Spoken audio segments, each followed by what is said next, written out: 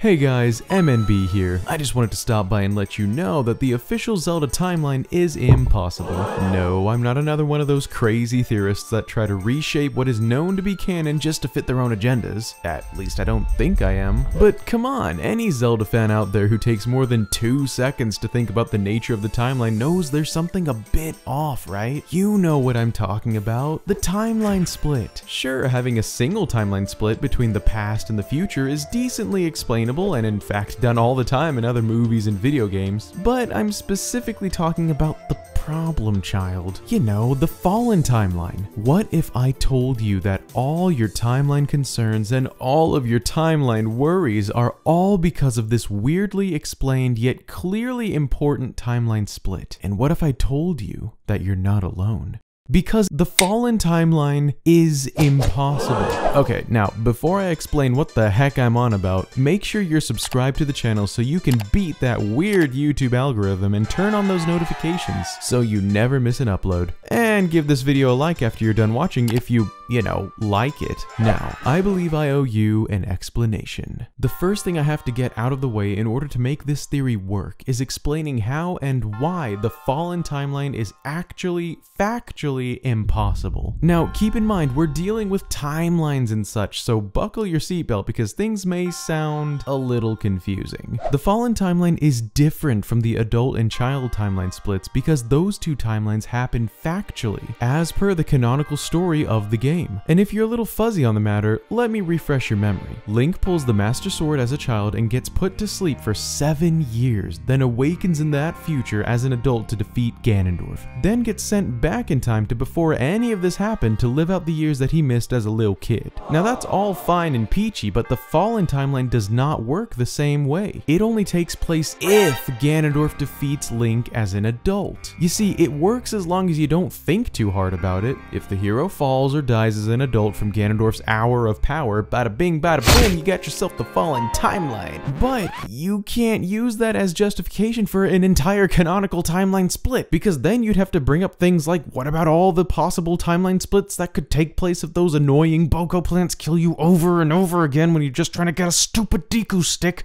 I mean, I, am not saying they ever killed me, but uh, anyway, you get what I'm saying, right? If every single possibility of Link's death was heralded as a new timeline completely, then there's an infinite amount of possibilities. And with infinite possibilities, what's canon no longer matters. It's like Rick and Morty. They can literally make whatever they want and it's all canon since they have a multiverse that encompasses every possibility. But at the end of the day, because of this kind of infinite possibility, everything is canon kind of structure, does what's considered canon really even matter? Okay, a simpler way to look at the problem with the Fallen timeline is like if this were in programming language. The Fallen timeline would be what is referred to as an if statement, as in if Link lives or if Link dies, different end products will be created according to that statement. But the end products for these statements cannot both exist. You either take the right path or the left path, not both. Link cannot both live creating the adult and child timelines, but also die creating the fallen timeline, while still maintaining logical structure for what is considered to be canon. It's impossible. Okay, so hopefully we're still all on the same page, but I mean, if you need to, watch that section a couple times over until it clicks. But what I'm basically saying is the fallen timeline is impossible as we know it.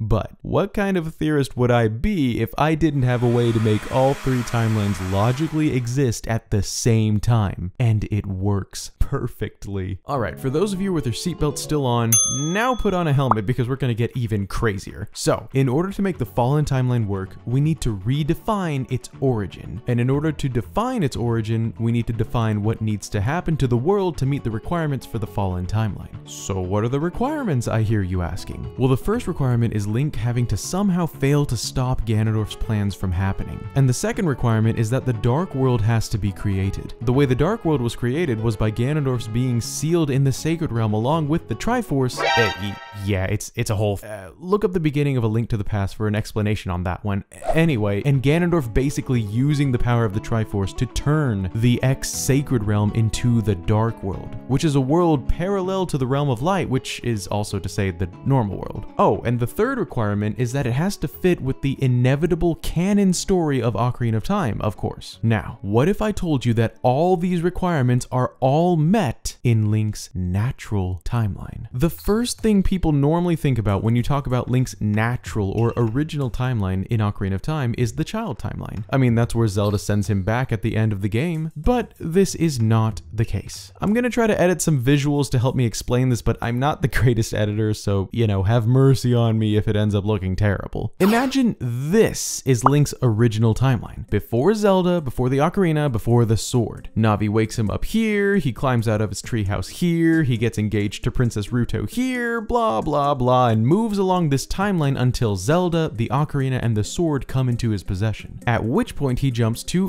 this point in the timeline, seven years in the future. You with me so far? Good. Now, throughout Link's quest, there are certain times that arise when he has to jump back and forth in between timelines to solve quests, and sometimes even entire dungeons. And the thing is, even when you're playing as an adult, time is still passing in your original time frame, the one that you keep jumping back to. For instance, if you need to complete the Spirit Temple and you jump back in time to complete the Kid Link portion and get the Silver Gauntlets, then jump forward to complete the Adult Link remainder, if you go back in time again after that fact, the Silver Gauntlets will not return to the dungeon from out of your inventory. Meaning, even though you've gone back in time, you've still already beaten that portion of the dungeon as a kid. Time has passed in the past. Now here is when it gets super interesting. At the end of the adult portion of the game, Zelda sends Link back in time to regain his lost childhood, right? She sends him to before she ever left the castle courtyard, meaning she sent him back to before any of these events transpired, right around here. And if the adult timeline spawned off of the events at this point, and the child timeline spawned off of the events at this point, then what about the timeline that existed in between? Ladies and gentlemen, I present to you the Fallen Timeline, or as I like to call it now, the Abandoned Timeline. It's the only time frame that canonically inevitably happens in the events of Ocarina of Time that also fits the other two requirements of the Sacred Realm with the Triforce inside being exposed to Ganondorf and Link not being around to stop him. This makes it possible for all three timelines to exist without any if statements or impossible stretches of logic. One thing we do need an explanation for would be what if the Triforce splits when Ganondorf touches it?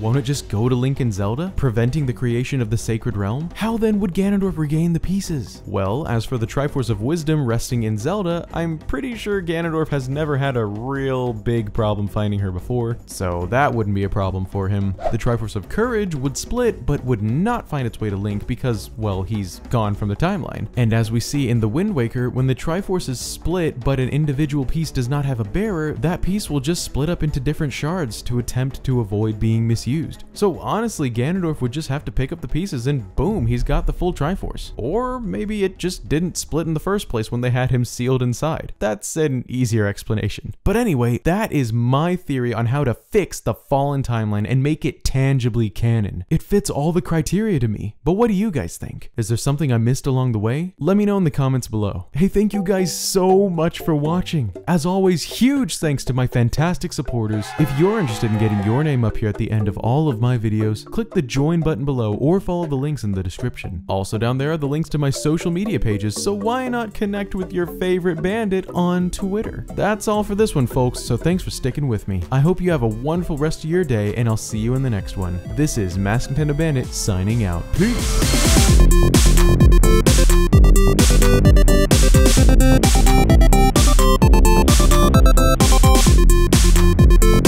We'll be right back.